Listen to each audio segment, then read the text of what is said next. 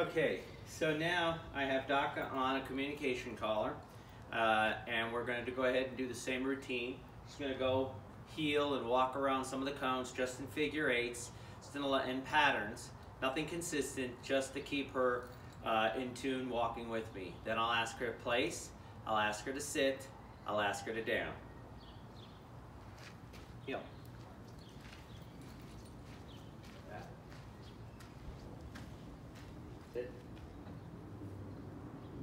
Heel. Sit. Heel.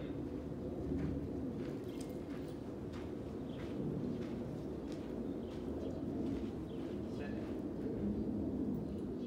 Heel.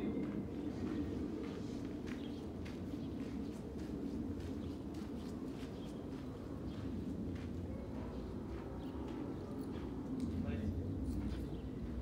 Doctor sit. Doctor down. Yes. Whoa.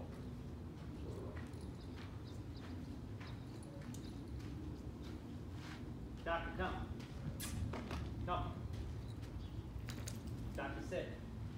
Yes. Doctor, place. Yes, good place. Doctor, sit. Doctor, down. Down.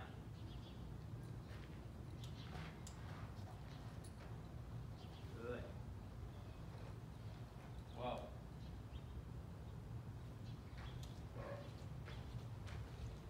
Duck. All right, so that was heeling, that was recall, and that was place. Uh, and uh, whoa, whoa is a stop command. So she's doing really, really good as far as that's concerned as well. Once again, this dog's only four months old, and she's learning some pretty advanced obedience tricks here.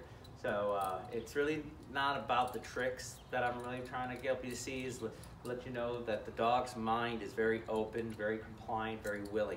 And, and a lot of this we had to do, DACA, sit, sit. Whoa. See, a lot of this we just had to do through practice and we did it all through positive means. Very little compulsion was used because she's so young, it's, now it's good to lay on the foundation. So uh, those are the main things. Uh, of course she crates up, no problem. Um, she's uh, overnight kenneling, no problem. No potting, no accidents in the house, no chewing, no destructive behavior. Uh, pretty much the toys she enjoys is uh, cow hoofs and antler bones.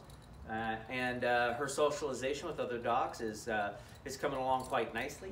So all in all, I think you know we're really happy with DACA, and we hope you are too.